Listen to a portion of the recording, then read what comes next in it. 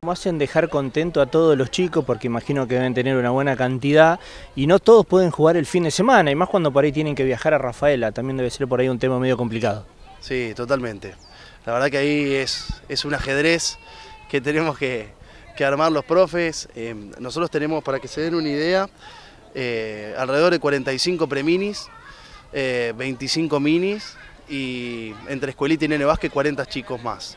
Eh, las tiras son todos los sábados, eh, jugamos de local un sábado y de visitante otro sábado. Entonces, por ahí lo que tratamos de hacer es cuando jugamos de local, citamos a todos los chicos eh, y bueno, dividimos el tiempo para que todos por lo menos jueguen dos o tres veces y cuando vamos de visitante y tenemos que llenar el colectivo, como lo compartimos con otras categorías, tenemos cupo y lo que tratamos de hacer es eh, sorteo y bueno, al próximo viaje, los que ya viajaron en el anterior, les tocará descansar y subimos el colectivo a los chicos que, no salieron sorteados. Obviamente, aquel chico que pueda viajar en auto, que lo acompañen los padres más, eh, eh, está invitado siempre a participar. Me quedo con lo que vos me dijiste, ¿no? El tema de venir, de disfrutar, no solamente ustedes, sino también ver disfrutar a los chicos.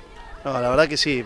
Eh, para nosotros es, es lo primordial. Nosotros, este último fin de semana, bueno, eh, Enzo fue, eh, le organizamos un campamento con los profes, ya que teníamos una fecha libre.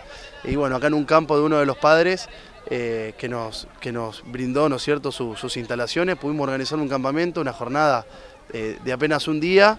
Y bueno, es lo que yo siempre digo, ¿no? Un fin de semana que por ahí no tenemos fecha, que estamos libres, eh, por ahí disfrutarlo en otra cosa, no, bueno, nosotros tratamos de, de organizarle esta actividad a los chicos y, la repercusión que tuvo eso y el agradecimiento de, los padres diciéndonos que sus hijos lo habían disfrutado muchísimo, es algo que, nos alegra muchísimo a nosotros como profes, eh, lo, compartimos también con la subcomisión porque la verdad que el respaldo que tenemos de, de, de su comisión es, es importante destacarlo.